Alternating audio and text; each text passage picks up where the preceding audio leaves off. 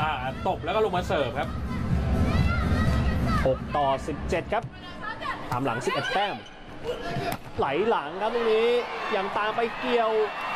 บอลสามอุ้ยไม่ไหวอุ้ยต้องระวังครับ